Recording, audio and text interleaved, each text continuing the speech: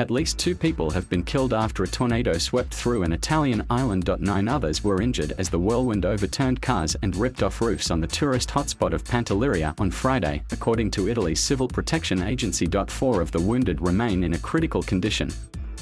One rescue worker who spoke to Italy's ANSA news agency described the scene as apocalyptic. Local media report that the tornado ripped down a coastal road. An off-duty fireman is among the dead, the Civil Protection Agency said.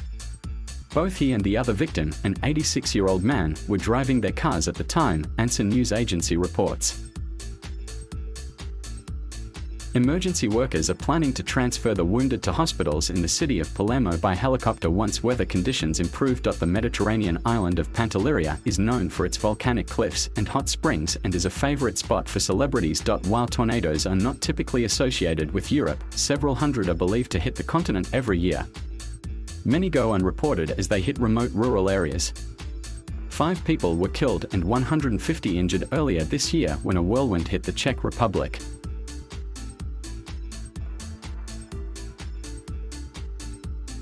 Thank you for watching. Please subscribe